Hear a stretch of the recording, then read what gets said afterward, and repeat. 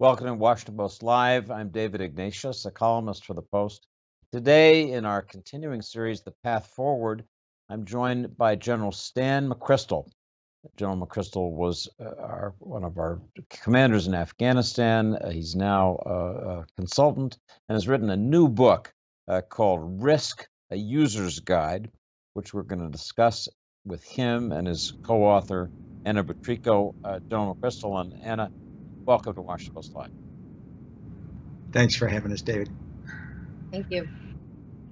So, uh, General Crystal, I, I want to begin by asking you uh, about what's in the news. Uh, we have all, as a country, been focused on Afghanistan uh, since the, the, fall of Kabul. You were one of our most prominent commanders uh, there. I want to ask you, um, since the fall of, of Kabul on August 15 and the somewhat chaotic, very chaotic withdrawal of, of uh, Americans and Afghans from there uh, in the following two weeks. We've been reckoning with the consequences of the war. I'm wondering if you agree with General Mark Milley, the chairman of the Joint Chiefs of Staff, who said last week before Congress that he had concluded that this war was a strategic failure. Is that your judgment? Well, David, I don't think there's any way for us to say it was not a failure. It certainly ended differently than we wanted it to. Afghan Afghanistan's in a different place, but at the same time, would say that Afghanistan's not the same place it was in 2001. And I am hopeful that the changes in that society, the females that are educated, the young people, will over time be able to be a major force. So I, I certainly wouldn't claim that it's a success, but I don't think there's room to lose all hope either. And and uh, gentlemen, in the spirit of your book, which is all about assessing risk, judging them uh, sensibly, I'm curious as you look back to the recommendations you made when you were commander in 2009 for a significant increase in American troops, whether you'd revise that uh, recommendation in light of what we now know. Obviously, hindsight is, is an impossible way to, to judge uh, decisions. But were we taking on more risk in the approach that you uh, recommended than we should have?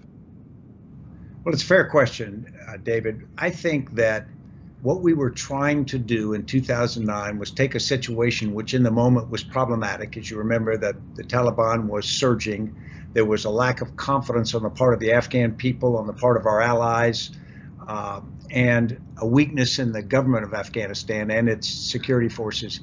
And my assessment was we only had the opportunity to succeed if we could improve the Afghan military, if we could get better performance from the Afghan government, if we could create an environment where confidence on the part of the Afghan people went up. Now, clearly, that didn't happen to the point would we like to. I believe that it was a, I know it was a genuine and good faith effort to produce that. And I think for a period of time there was some, but it's hard for me. I'm probably not the, the most unbiased person you could ask that question to uh, on to whether it was a mistake or not. In my own reflections back over the 15 years that I traveled to Afghanistan and reported on this war as a, as a columnist, I was struck, uh, John McChrystal, by the recurring, um, almost continuous bubbles of optimism of our commanders. And they're not surprising. Uh, commanders uh, want to succeed at the assignment that they're given, they want to be creative uh, in how they use uh, military force. But I'm wondering, in this broader context of your book and thinking about risk, uh, how corporations and all of us individuals should think about about risk. Could you speak for a moment about the danger that a kind of military groupthink, a, a collective optimism, a can do, otherwise admirable can do spirit uh, led us into something that in the end we probably couldn't do? Yeah, it's an interesting question. First, I don't believe the premise that Afghanistan was an impossible mission. So I don't buy into that there was no way it could succeed. And I don't think we should use that as an excuse for not succeeding. In fact, I think it didn't succeed in large part because we didn't we didn't do everything that we could and should have as effectively as we could and should have. So we got to look in the mirror and ask those questions. I think your point's exactly right about military leaders. If you have a coach on the day of a big sports event, you ask that coach if his team's going to win. A good coach is going to say yes, even if the probability and the pundits all say that it's unlikely. It's it's part of a dynamic that a coach one believes but almost has to believe to create the confidence inside their organization. That creates a tension, a tension with people standing on the side. And now, wait a minute, your team is smaller and slower and and unlikely to be effective. And yet, if you proclaim that you're going to lose, it is a self-fulfilling prophecy. So there, there's always going to be a tension there that military leaders and the people who listen to military leaders have to understand. I think most military leaders that I saw were giving the best portrayal that they knew at the time.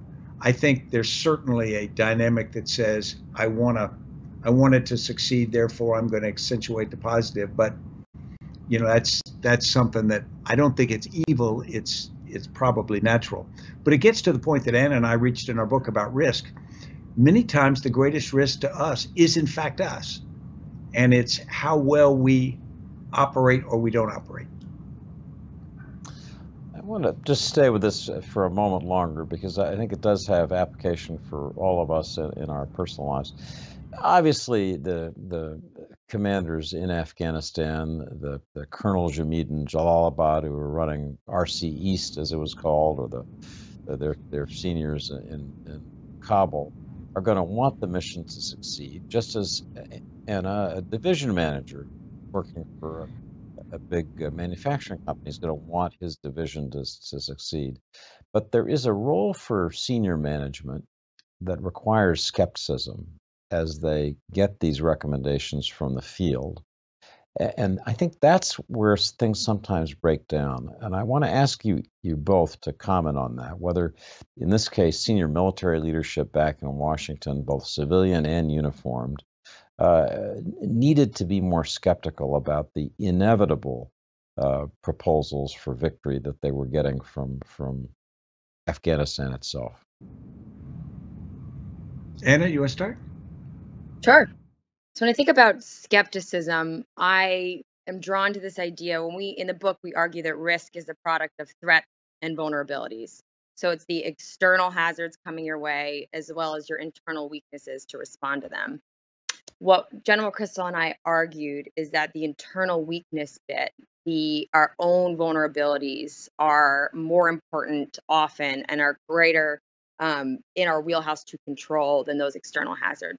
So when I think about skepticism, I think it's hard for us to admit that those internal weaknesses are the point at which we should focus most of our control. Um, it's really easy to point our fingers at the big bad wolf that's knocking at our door rather than the tools that are inside of our house when he tries to blow our house down.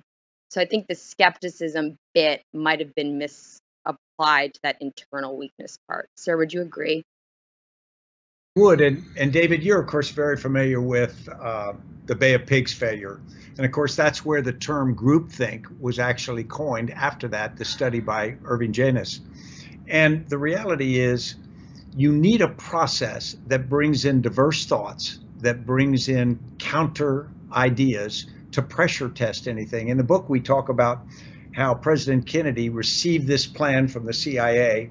He tried to have his new administration look at it and vet it, but it didn't go very well. And so, as a consequence, they went forward with a, an ill planned invasion that failed dramatically. He learned from the process, and in the Cuban Missile Crisis 18 months later, he set up a very different kind of process. And I would argue that as we take on important things in our government or our organizations, setting up a process that allows you to bring in diverse perspectives and pressure test your ideas. It gets back to what you're saying. It's how can we trust the the general or the coach who's not a skeptic? It's fair, but it's also a little unfair to expect that person to be not affected by the fact that they've got to create confidence and whatnot. So you have to create a process that helps balance those things in my in my experience.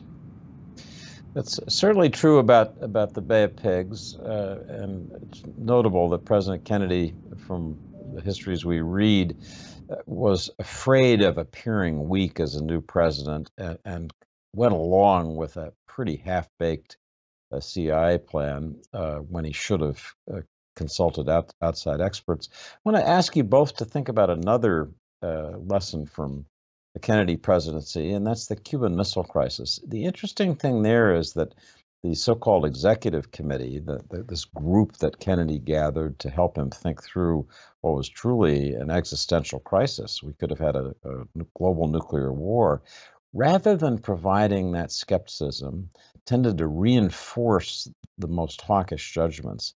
And it was only Kennedy's own willingness to step outside of that box personally with his brother that uh, that that led to an exit uh, uh, and, a, and, a, solution. I want to ask each of you to, to comment on that. The times when sometimes leaders need to separate themselves uh, and make an individual uh, uh, effort to, to, to think out of the box because the box is the group that they've organized to, to, to advise them. Yeah, I'll start if I could. Um, you're, you're, exactly right. On day one of the Cuban Missile Crisis, had they taken action, it likely would have been bombing followed by an invasion. And President Kennedy probably would have been on board with that. What he really used the process to do, and I think he used it effectively, was to force the organization to go through a series of steps to widen the spectrum of potential actions, to give him more courses of action, to give him a little time and space. And he stepped aside, and you're right, he used his brother to help drive that process to widen widen the room a little bit. And suddenly you put things like blockade and quarantine on the table that on day one would not have been there. So I think when we think about organizations, it's creating that dynamic. First, understanding the need for that dynamic, then creating that dynamic dynamic that's so important. Anna? Yeah, I would agree. In in the book, we argue that organizations have what we call a risk immune system, so it's very similar to the human immune system. We argue that leaders are kind of the wrench that keeps all the parts of that risk immune system functioning. So they have to give the time and the space, as General Crystal said, but they oversee how the organization is interacting and responding to risk. So I think I think intentionally increasing the number of options and being that oversight is what uh, President Kennedy did well. Um, but it's a challenge. We've seen it over and over again, not to get into the biases and the weeds that the rest of the team does. So we, we cover it at length. But yeah, I would agree, definitely. John McChrystal, you were the leader of, uh, of JSOC, the Joint Special Operations Command, which was responsible for our uh, intense effort to go after uh, those who threatened uh, the homeland, threatened our troops uh, in Iraq and Afghanistan. This was hard nosed warfare uh, at its most ad- ad- advanced form. I want to ask you the, the question that, that I hear people asking me. I'm sure the uh, organizations that you consult uh, are asking you, and that is how worried should we be as a country, should we be as individuals about a resurgence of Al Qaeda in Afghanistan now that we're gone, now that the Taliban is running the show in Kabul, that could threaten our homeland in the way that we were 20 years ago? I think it is a very real possibility. I don't think there's any guarantee that it will come from inside Afghanistan because it really could come from almost any place in the world, particularly if you talk about cyber being a major weapons system now. But I think Afghanistan could offer a couple of things. It could offer a demonstrable victory uh, to motivate a bunch of people who would say we should continue on the fight. And so I think you've got that inspirational part of it.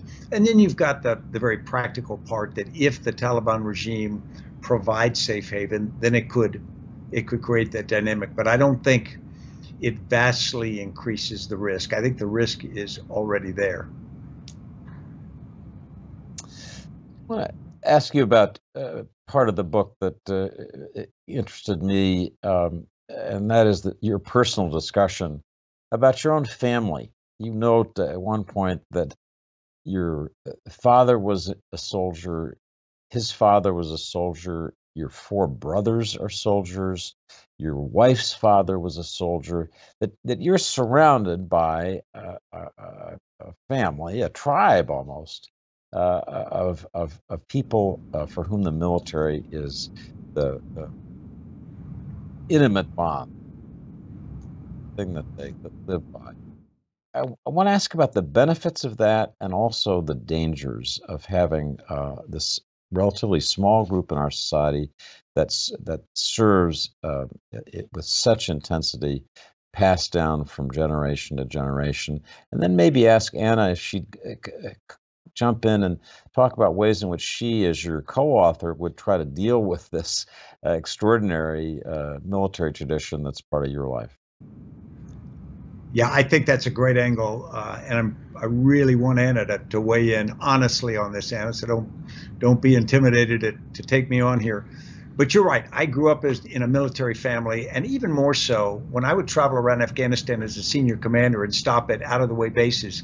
Invariably, one of the senior NCOs or lieutenants at that base was the son or daughter of a comrade of mine. So what you describe is not specific to the McChrystal family, it's specific to a whole bunch. And that creates an insularity that's not really good for a democratic nation. I mean, we've got a very professional military, and I'm proud of them. Uh, but the reality is, I think it needs to be participated in by the entire spectrum of our society. Because if everybody thinks and looks like Stan McChrystal, you're not going to get much diversity of thought or a range of different ideas. Anna?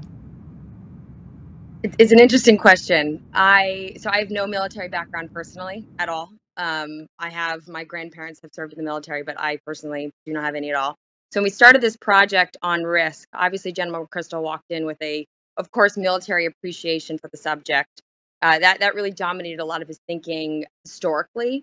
But as he's transitioned out of the military, works now with McChrystal Group, a consulting firm, he realized that a lot of the lessons and observations of risk in the military transcended the battlefield and were happening in organizations and in government and you name it. So I sit more on on the other side, not so much the military, on the organization side, not in the government so as much. But I really we came in together to put those approaches, ideas, perspectives to create something that's not just a military appraisal of risk, but how all organizations struggle with the idea that the greatest risk to us is us. So, bringing in some ideas about even the high jump as an example of um, dealing with risk, looking at Formula One racing, looking at the Hurricane Katrina response. We definitely have military examples, but they are are accompanied and strengthened as well with examples that are not military based. So I think that's why this was a productive partnership personally to bring those ideas and, together and that's why we made it a partnership. Uh, Anna's not a ghostwriter or a subordinate author. It was co-authors because I thought an old white soldier and a young lady with a very different education background, very different generational uh, look, we're gonna we're gonna create a better balance than than what we get, and that's exactly what we got. And Anna can give as good as she gets. So if you get in the room and start negotiating on a chapter with her, you'll find that it was a pretty even uh, negotiation. Well, that, that's a good co-author's statement. I should just note, uh, General Crystal, you and I have talked in the past uh, in public forums about the importance of some kind of program of national service that brings us together uh, from all of our different uh, racial, gender, other backgrounds uh, to to serve and work together and and, and hopefully become uh, a more united uh, society and country. Maybe you just briefly want to speak about you, your own f- focus on national service. uh, and where you think that proposal stands. Yes, sir. We, we just saw the sad collapse of Afghanistan, partly because they were not connected to their society enough, and the society was not interconnected enough. I fear that's what's happened in the United States, and many people view citizenship as something you get by accident of birth, and you don't really have to do anything for. You're expected to vote and to pay taxes, but many people don't vote at the rate they should. And so there's less sense of responsibility to society, society being other Americans. And that's largely because we don't know other Americans. We watch different TV, we live in different zip codes, we don't interact, and we've gotten pretty tribal. And so my sense of national service is an idea to give young Americans an experience that will help make them better citizens. It's not to get low cost labor to go build trails in parks, although that can be part of the work. It's to give every young American a year of full time national service so they're dedicated to something bigger. So they serve with people from a different background so that they get the satisfaction that they have contributed something to society. And then if we do those things in society, like give education benefits and whatnot, they feel like they've earned them because we value what we've earned. So I think it's a, it could be a great unifying force that makes us a better group of citizens. I want to ask you about another idea in your book. As you mentioned earlier, you have this uh, metaphor uh, for the, the uh, risk immune system. One thing we know about immune systems is that, as essential as they are to fighting off disease, keeping the body healthy, that sometimes immune systems can overreact. And I, I, use that as a way to ask you whether sometimes we overstate risks in a way that makes us weaker than we need to be, Uh, because we're so fearful about things that are relatively low percentage, low probability. Is that something that, that, that you see, and how do you advise organizations to deal with that question of overestimating risk? Andy, want to jump on that? Sure. So we say the risk immune system has four imperatives and, and four real goals. So one is that you it detects threat, it assesses the threat based on your personal vulnerabilities, it responds to the risk, and then it learns from the process what I think leaders and organizations tend to do is if you're thinking about threat, we tend to be while I, I, acknowledge your question is about overreacting, our book really acknowledges the underreacting. So if we look at COVID 19, for example, the Department of Health and Human Services ran an exercise called Crimson Contagion that predicted something like COVID 19. Before Hurricane Katrina, a Hurricane Pam exercise predicted COVID 19. So while people do overreact and are quite sensitive to the threats that are approaching, as well as their vulnerabilities to respond to them, General McChrystal, my findings is that the opposite is more apparent and arguably more dangerous. Uh, time and time again, we're seeing people mitigate threats or say it's not as bad as, as you think. You know, we're stronger, we're strong enough to react. Um, but that's proved to be the most dangerous um, tendency. Sir, would you would you agree? I, I do. It's underreacting to the tobacco threat years ago or to climate change. But but I do think, David, you got a really good point. And I think a lot of people who have a stake in it, they're incentivized to create the idea of a crisis because they they benefit politically or they benefit financially or in some way and that's where the maturity of our of our uh, system really needs to kick in because we know that with information technology now, you can trumpet a cause, you can create something feel like a much bigger crisis than it might actually be, and you can get people pretty energized about it. And we've seen leaders do that and whatnot, which is dangerous in the extreme. And so the the maturity of our system, and this comes back to communication, it comes back to uh, eliminating or trying to reduce or at least understand biases and then the idea of leadership. And that is to, to sort of pull people back and say, wait a minute, let's put that particular issue in context. Take immigration problems, for example. We had a period when suddenly we, it looked like we had people storming the walls of the Alamo. And that wasn't the reality. Certainly it's a problem. But but things like that put in proper perspective, then we can deal with them much more, much less emotionally and more effectively.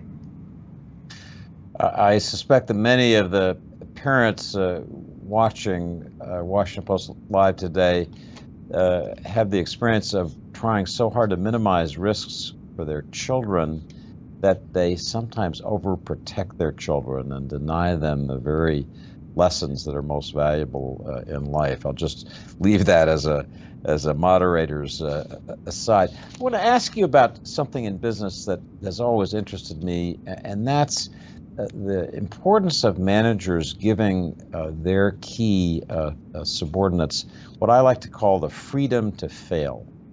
And General McChrystal, you were uh, experienced, uh, highly respected uh, commander through your, your career. You wanted to develop your young officers and, and, and soldiers, um, but the freedom to fail, if you're in the military, can get you or the guy next to you killed. So how did you, how did you strike that balance? Uh, allow people to develop um, uh, to, by taking risks, but but know when to the, to keep the risks within bounds. Yeah, it's a, it's a real problem because what we found in peacetime was any training accidents or people who got heat injuries or whatnot, things which will happen if you are training realistically and hard enough to truly prepare for war, would come at great cost to a commander's career. So, as a consequence, many commanders would find excuses not to push their forces hard in peacetime training as they really needed to because it carried some career risk to them. And that's an insidious thing because the organization says, well, we don't want to hurt our soldiers in training, and who's against that? But the reality is, we want to be ready for combat. So, so I, I grew up in many ways seeing that. When we got in combat, what I found was, in many cases, there were pressures to reduce the risk to our force. So, for example, in Afghanistan, we had a rule that every soldier had to wear every piece of body armor issued to them. And that could be pretty heavy. And if you're trying to climb mountains in Afghanistan, that, that's just a non starter. You can't do it. And so, for leaders to do what they had to do at altitude, they had to violate orders that were given about every soldier had to wear all their body armor all the time. And you create this dynamic that says, I want to drive risk to zero in an inherently risky business. And so you have to build in your organization a couple of things. One is leaders have got to learn to make mature balances, judgments on how much risk to accept this way to reduce other risks that come. And two, more senior leaders, particularly, have got to understand that when Ted Williams had his highest season in 1941. He batted a little over 400. He still failed 60% of the time. So I found out in the counterterrorism world that if we were going to be effective against the enemy, we needed to do a lot of operations. If we did a lot of operations, we were going to fail a lot. And when we failed a lot, we had to one accept that, and two we had to learn from it. So you, if you try to drive the risk of failure to zero, you won't do much.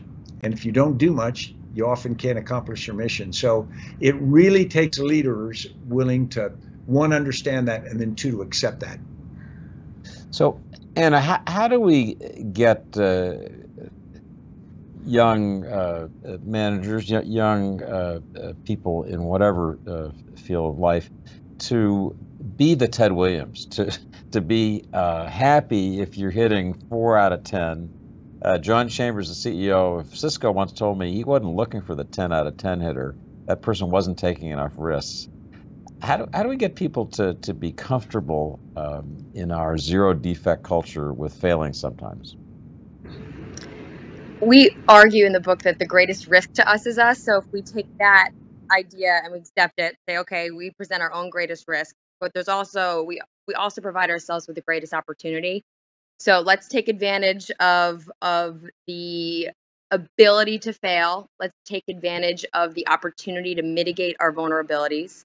Let's take a moment to assess the threat and know that through iteration, through trial and error, I mean, just as a human immune system, when it's uh, uh, confronted by a threat, it gets stronger.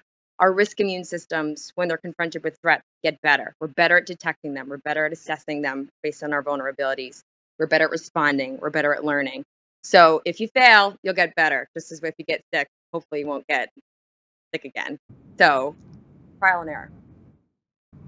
So I, I want to thank you both for a fascinating uh, tour of the world of risk. The book is called Risk: A User's Guide for all for all users in that sense. Uh, General Crystal, uh, Anna Butrico, thank you for joining us on Washington Post Live today. Thank you, David. Thank you. So we hope uh, that you'll be back with us soon. Uh, please go to WashingtonPostLive.com to look at the programs we've got coming. Please register for those that look like they might be of interest to you. Uh, we'll look forward to seeing you later this week uh, in our programming. Thanks for joining us today.